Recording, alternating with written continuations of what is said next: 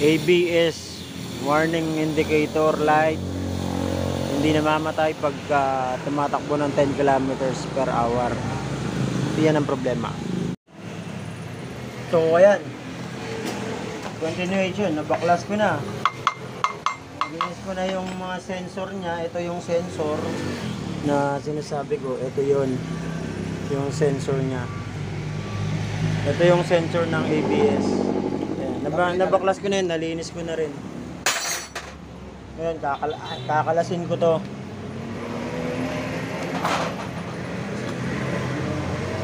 Ah napakatigas. Grabe. aray ko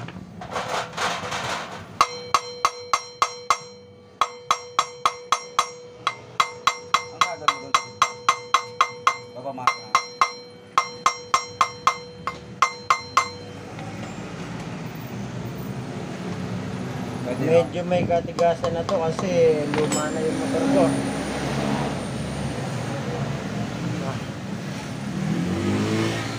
Okay, may LED kayo? Binibenta? Ilaw? auto supply po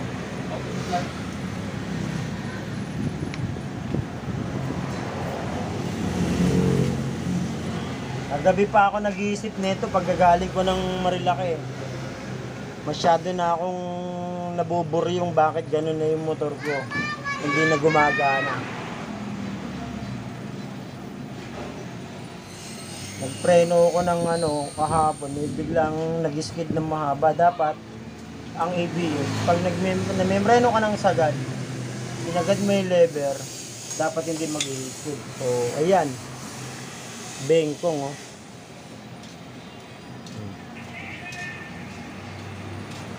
Kita nyo naman, oh, di ba? Ayan, oh.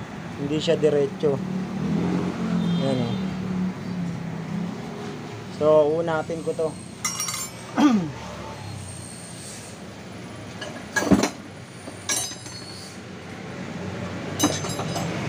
Sana dito mga solusyonan.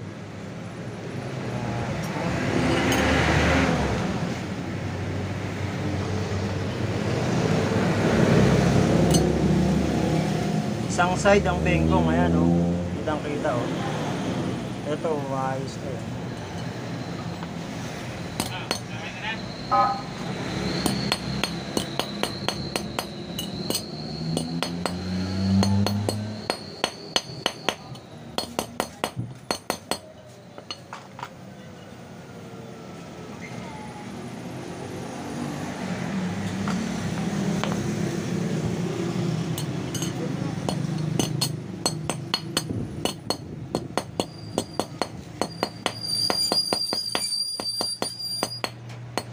Bro, bayaran mo bro.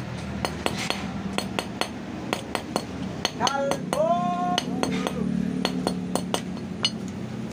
Usak.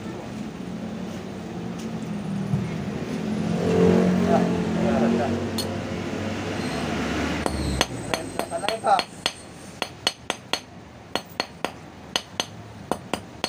Ito yung ano, may marking ng ano.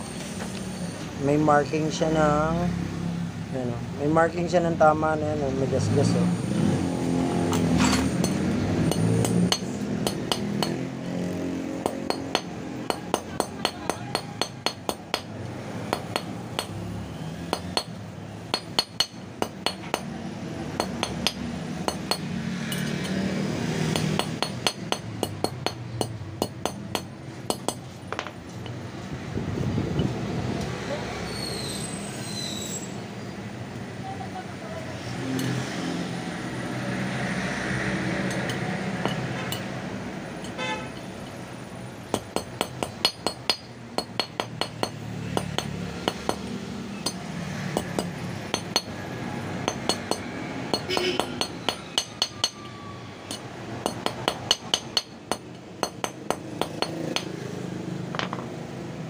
Natin sa salamin kung ano. Ah, kung maganda na yung lapat niya. So, yung salamin kasi pinaka ma, ma paano yan eh. Diyan kayo pwede mag-rely na may bengkong pa. Na flat na flat kasi ang surface ng salamin. So, ayan. So pag dininan mo ganun at gumalaw pa yan, meron pa yung bengkong. Ito, ayan, ben bengkong pa yan. Nababasa rin pala ng sensor niyan yung distance niya sa sensor at saka dito sa sensor ng dis dis sensor. So, Ayan to, ito, ito, bengkong to. Meron pang maliit. So, unatin ko pa ulit yan.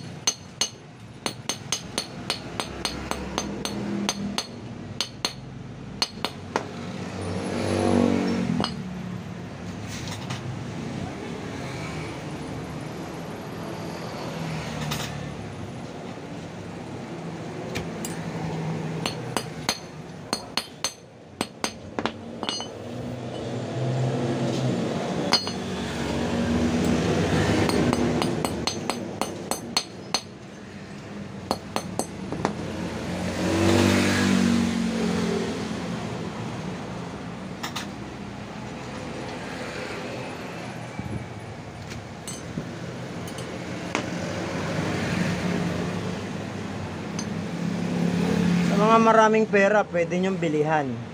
Para hindi nyo na ipaunat. Pero kung wala kayong pera, DIY muna tayo.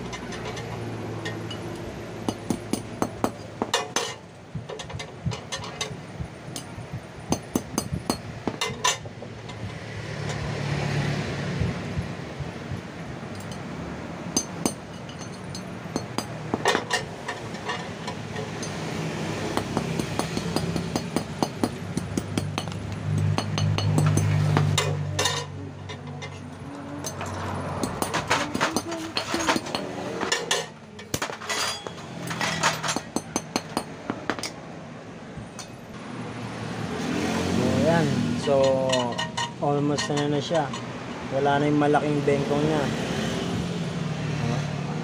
So, ilalagay ko na ngayon to. Ah, salamat sa iyo, salamin.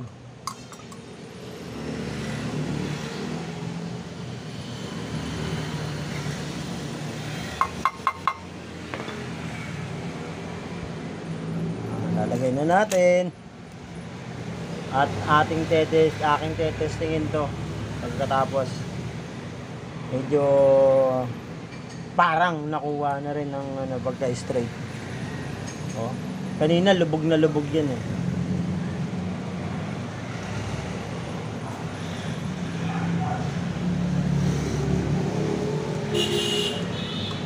So sana dito makuha ko na ang problema, masolusyonan ko na.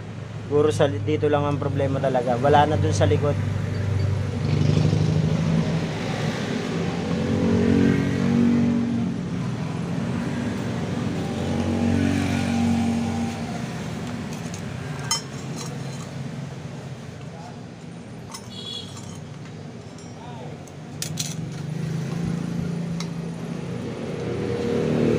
Maselan pala to. Pero kung wala kayong tiyaga, eh, bumili ka na ng bago.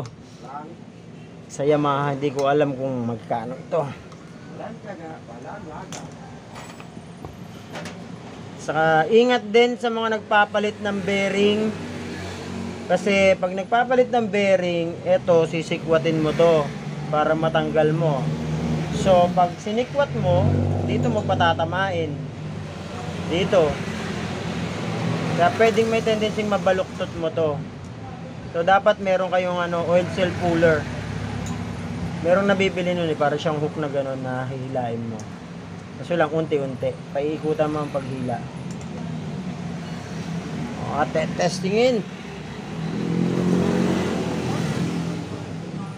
Ikakabit. And, hey yo. Tulungan mo ko dito. Tago mo to. Sana gumana.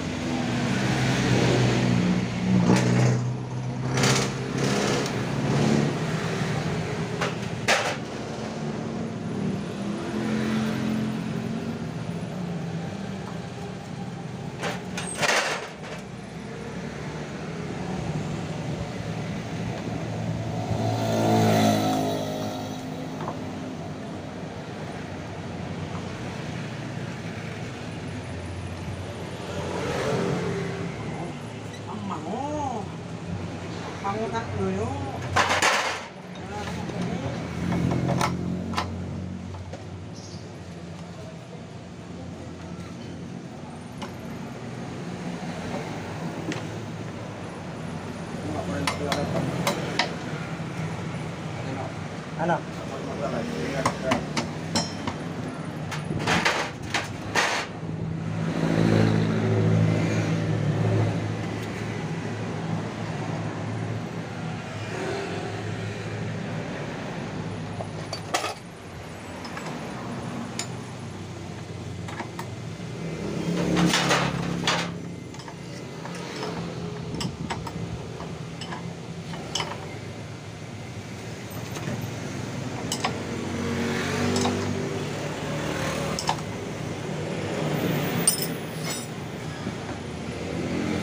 Tago na muna natin to.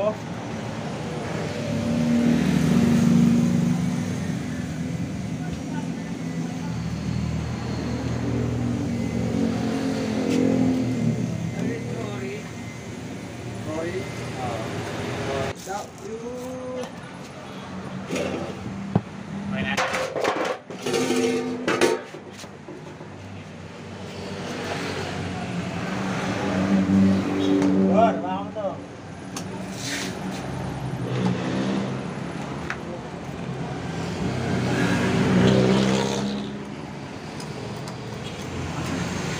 Adi. Sisirain na rin yung preno ko sa harapan.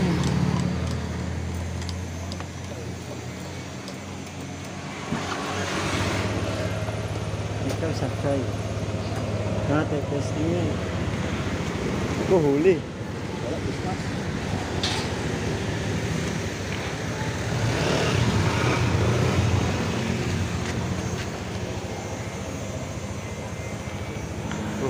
Huli.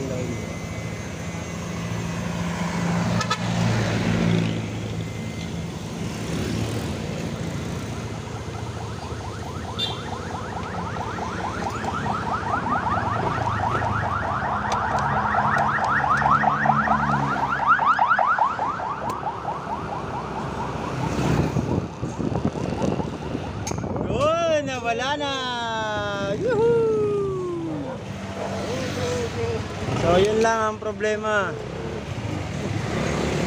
ABS sensor disc. Baluktot. Gumana na. Mamembrana na tayo. Yun! Gumagana na. Success!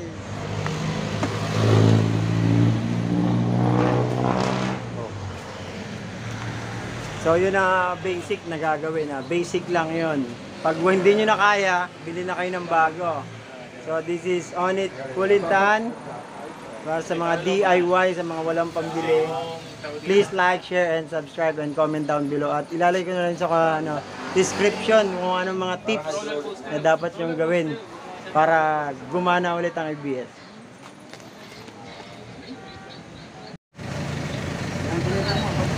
Babaklasin ko lang tong tambucho. Checkin ko yung ah, sensor ng rotor disc. Ito, ito yung sensor. Checkin ko rin yan. Gawa ka bengkong. At, at saka sa likod, be-verify na rin natin kung bengkong. Namang problema ako kahapon umakyat ako ng Marilake. Nagsa-sudden stop talaga siya.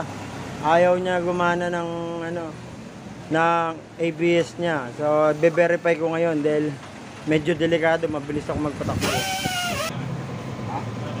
Na. Checkin natin ngayon, babaklasin ko yung gulong.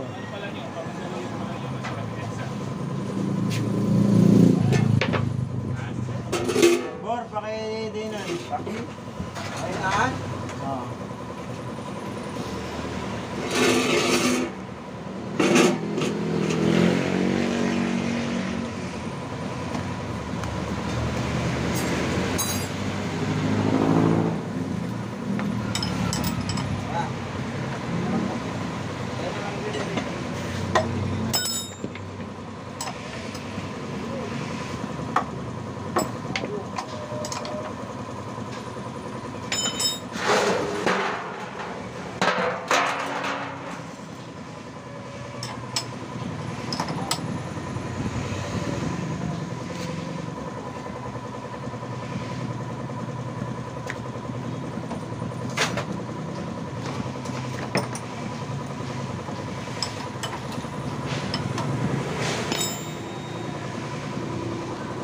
Babaklasin yung gulong, check natin yung ano.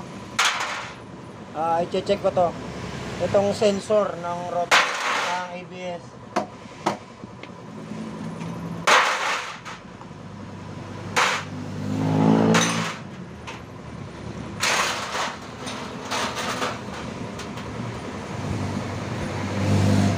Oh.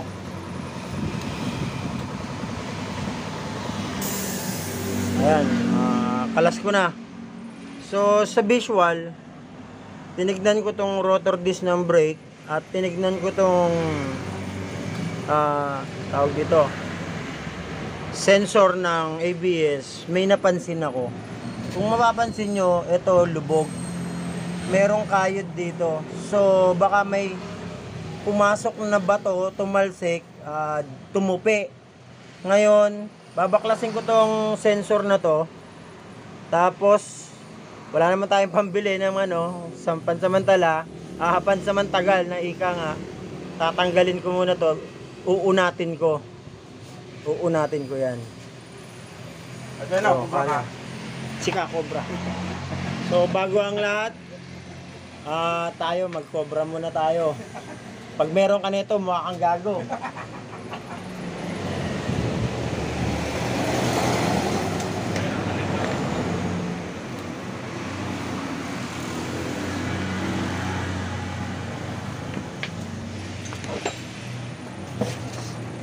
So pag tatanggal ako nito, ini-impact ko muna ng martilyo. Itong mga bolt na maliliit na to. Ay, tanga. Hindi ko sinapinan. Na. Sira. Baka dito makuha ko na yung solusyon eh. Ayan o. Ayan. Ikaw videographer. Ikaw hawak. Cellphone ko. Hindi ako marunong yan. Pwede yung ano, alin natin yan. Wala, wala akong gamit na maliit. Yung ano, yung isa. Wala. Ito gamit ko. 4 lang yung ginamit ko. Yung maliit natin. Diyan, nakasuksok. Ayun oh. Paano na bengkong yun? Ba, may tumama sigurong bato. Ayan. oh. Yan, nakikita nyo yan. Yan, yan, yan. yan. Oh, Boss! Hoy, ay! Congrats ha! Graduate ka na! Anti-lock brake system eh, or other known as ABS. Itong NMAX ko 2 years may get. May problema siya, ayaw niyang mamatay pag tumakbo na siya. Yung ABS na indicator, ilaw, yan, yan. Ito, ito. Ayaw niyan mawala pag ano, tumatakbo na siya ng 10 kilometers or 6 miles per hour. Sa kilometer, 10 kilometer per hour naman. Sa mile, 6 miles. Ayaw niyang mawala. To be dapat nawawala yung indicator na yan pag tumakbo ka na ng 10 kilometer. So, nilinis ko na ngayon yung sensor. Nilinis ko yung sensor. Eto, nilinis ko na yan kanina. May mga buhangin. Saka, dito sa likod. Yan. Kung makikita nyo, ito yung sensor. Oh, ito. Yun. Yun yung sensor. Andiyan dyan yung sensor. Ayun oh. Ito. oh. So mamaya checkin natin. Babaklasin ko lang yung tambutso. ABS warning indicator light. Hindi namamatay pagka tumatakbo ng 10 kilometers per hour. Yan ang problema.